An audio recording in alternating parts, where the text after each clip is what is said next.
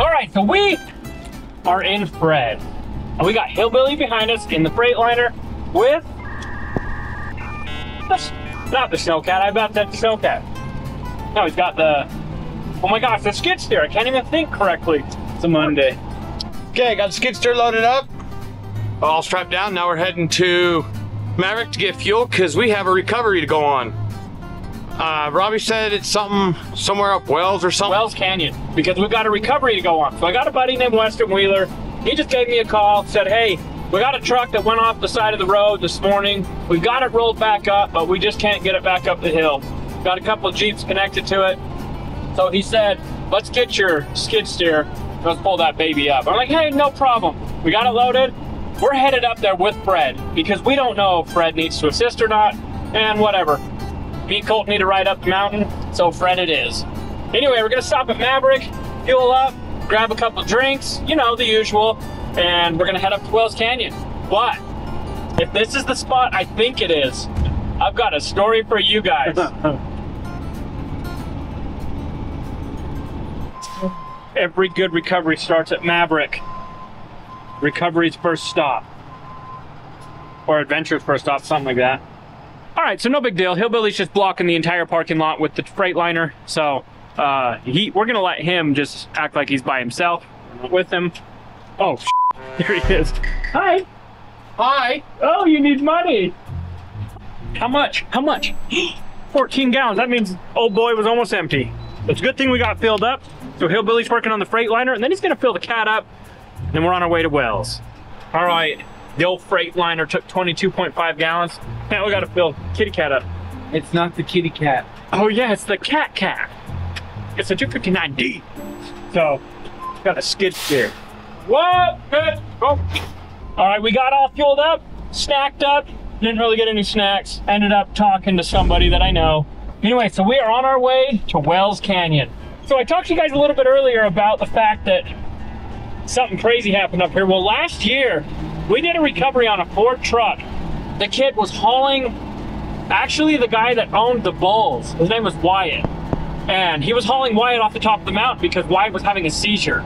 So they were hauling butt. He ended up rolling off the mountain, and I think this is the same spot. So we were contacted to go up and get the truck and bring it to Ephraim. So we filmed it. It was all good. Well, anyway, later that day, we got a call from the sheriff because we got reported for stealing this truck.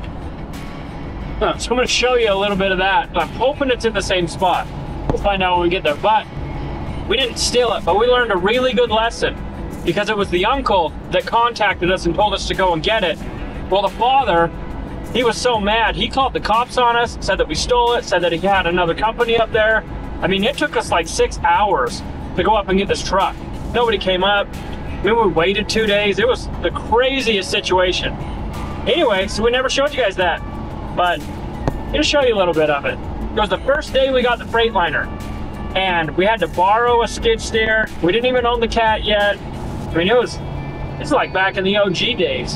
So anyway, we'll be there shortly and lighten you a little bit more.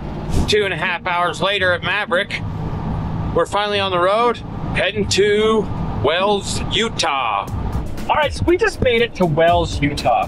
Beautiful Wales. Beautiful Wales. I'm just gonna tell you the truth. Fred's losing its brakes. So we're gonna have to do something with that. Uh, out on the highway, just about didn't stop. Anyway, I'm gonna have to, I'm gonna have to talk to Hillbilly.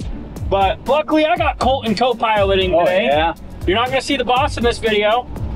She's home with some sick kids. So unfortunately, Lincoln was up all night throwing up last night. He's just caught himself a little tummy bug, but we're hoping he gets better in the next little bit so we can see her on the channel again. So don't worry, she's coming back.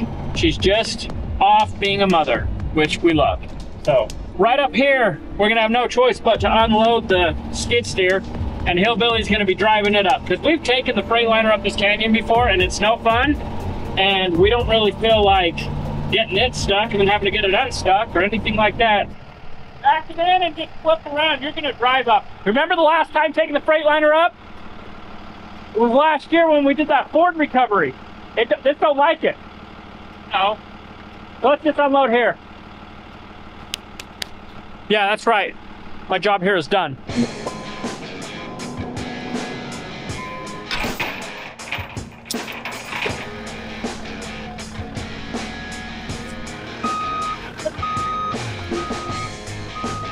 Go, go, go, go, go, got it, go. All right, take off. We'll be right behind you. This is gonna be slower than us. All right, hillbillies, hillbillies hit the road. Um, we're gonna leave the truck here, so we'll run and shut it off, and then we're following him and Fred. Okay, so I'm ahead because this is a lot slower. and They're getting the truck shut off, the, the tow truck shut down, and then they'll be right behind me. I don't like the view I have because that metal grate kind of makes me car sick. I'll show you why.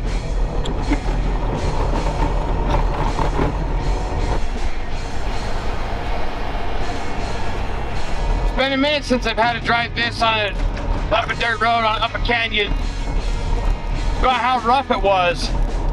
So the road's really, well, it's got snow packed and it's a little icy. So I'm waiting for Hillbilly to get up the hill because I'm gonna hit this. This tracked skid loader is gonna make it up it a lot better than Fred.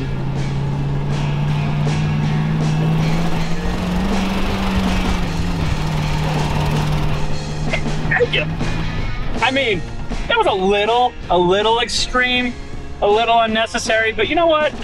We like to have fun.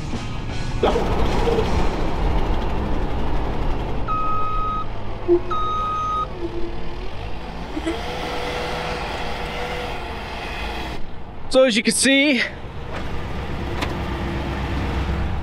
we're all iced up, so we gotta lock the hubs in. Hillbilly's struggling.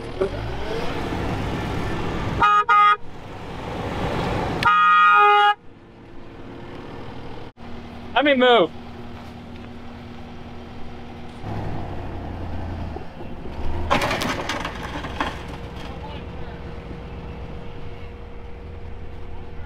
Hillbilly, crank that back track. Try it again because you're right in the bank. If you can go back to the bank, it'll flip you.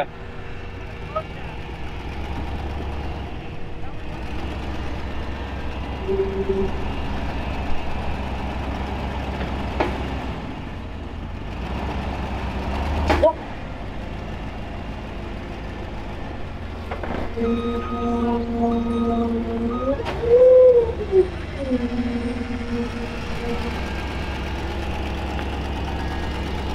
Oh god.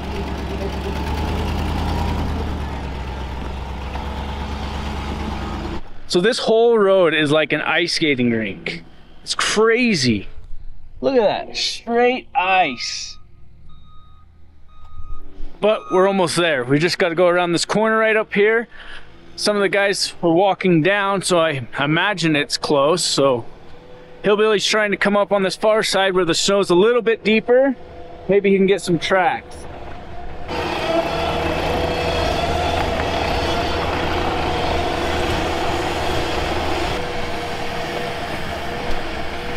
All right, so I'm gonna go move Fred. Fred basically just here as an assist.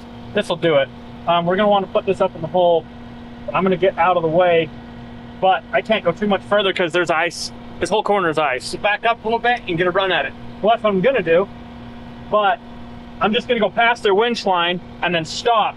But we have to get you up there and then back you into that hole. As long as I stay on the drive. So, and this is the exact spot right here. Don't fall.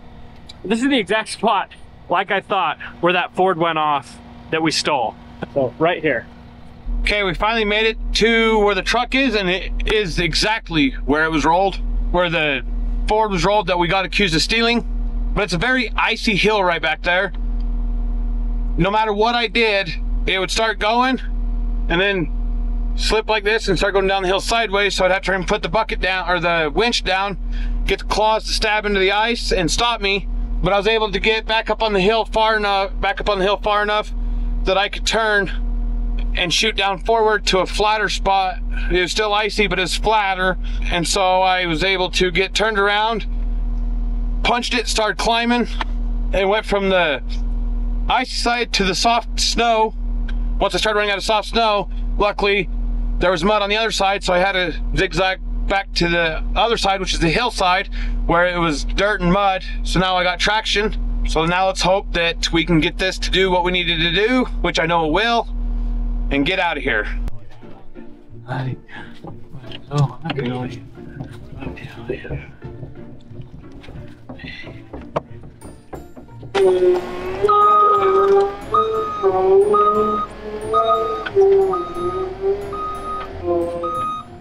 You and you. I'm gonna be famous now. Well, I didn't roll anything. no, you made a phone call. So we made it up here. We found the truck. So they've already been working on it. They got it rolled all the way back up on its wheels. Um, but on this ice, there's no good place to anchor. So it was just pulling the vehicles. So they called us. We got the skid loader. This is Weston from Peak Outdoors. Look him up.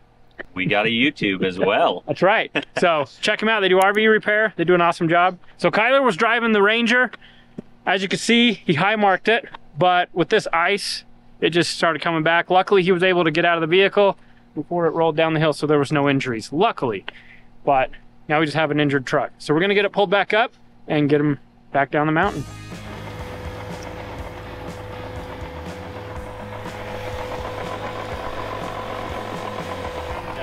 Use your strap, then we left work. Now, it's getting worse as it goes up. You're just gonna hook up. Um. Yes, I think I am just gonna hook up. Okay. Tell him to go out, just because then we can, where we need to get it up past the ice. All right. So we did have a strap hooked up, but we took it off because we need to get this thing up the ice as far as possible so we can shoot it back down the hill. So anyway, find a spot, get it hooked up. I'm just gonna go right around the hitch and pull from there. That'll give us plenty of room. Gonna pull on both frame rails. Should be good. What we'll do is we'll get get this hooked up and then have Hillbilly tighten up the cable and get some pressure on it before I get in.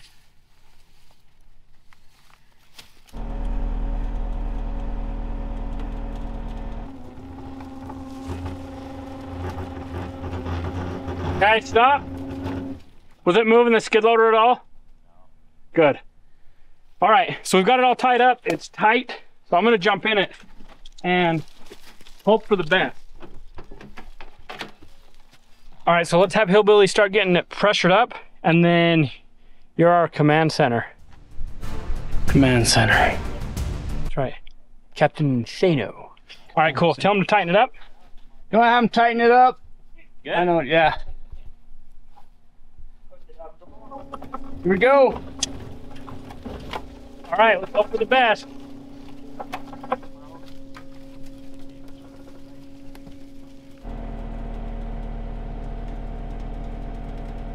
All right, so it's going up pretty good. Hopefully it doesn't let loose, but Colton's kind of my eyes because I can't really see anything because I'm on this hill. So it's going pretty good though. Hold, hold up. That tree's rich. We're gonna rip at that. this point. Just go. Okay. I'll crank the wheel so it wants to bring the front a little bit, but Okay. how big's the tree? It's just ripping that dog box. Well, the dog box is. You okay, Okay. with that? I mean, it is a little bit destroyed. We'll have to go back down and try to adjust over. No, let's just go for it. Okay, go.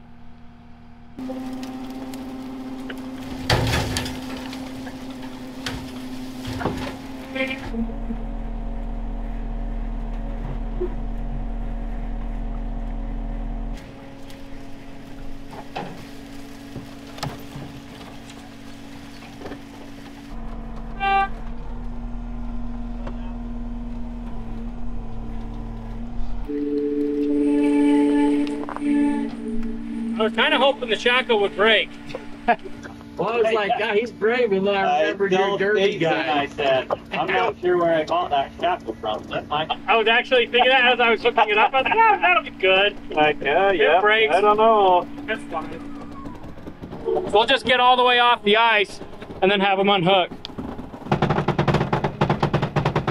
Snatch blocks, double your power, and I think we could pull a semi straight up a cliff. Tell you the truth. All right, so it, it worked out. Um, I was able to put it in gear and back up. So we should be able just to drive it down the mountain with hopefully no more issues. So luckily this Amazon shackle held tight. Ah, Here you go, sir. We'll have to have Yankum send you some. Oh, you don't trust these ones? But hey, it did the job. So if it works, it's not stupid, right? All right. I'll watch for them in the mail. All right, so that wasn't too terrible. Um, we're gonna get this winch cable wound back in, but it was winding itself in correctly, so must have done something right today. Usually Mondays don't go very well. But on the last recovery, when we were up here in this exact spot, stealing a truck, I think we had all sorts of issues. We had to use the side puller on the Freightliner. We had to use my buddy Antonio's skid steer. That was when we had the orange Kubota. But you know what? It went just like it should. It went, everything went perfect so far.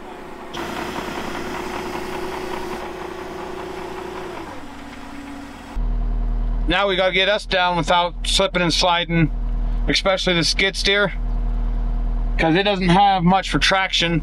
All right, so we got a game plan to head down the mountains. We got the Ranger going. It was able to go into gear. When they're on a steep incline, there's an inertia switch or whatever that doesn't allow it to go into gear. So we got it up here, engaged. He's headed down. We're gonna get the Tacoma headed down. Hillbilly's gonna get up in that hole. And then the Jeep's gonna go down. And then we're gonna get Fred and kick him around. We're down the mountain. So another successful recovery.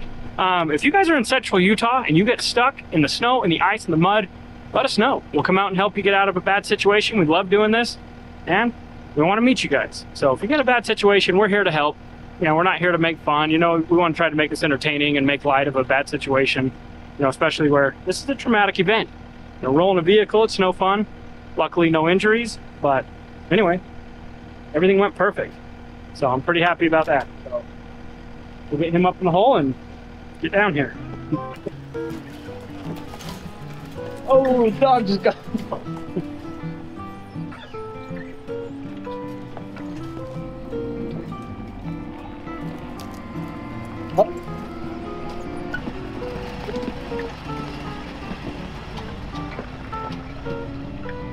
Oh, get ready. We're sliding.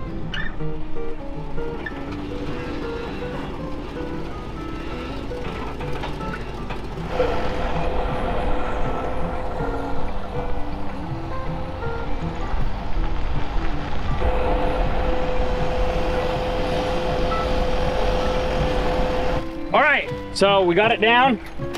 So we appreciate you calling us. Yeah, thank you. So glad nobody got hurt and no animals were injured. That's great. So anyway, as always, we appreciate you. If you enjoy this video, go check out this one. You point wherever you want. Perfect. It'll stay there. Perfect.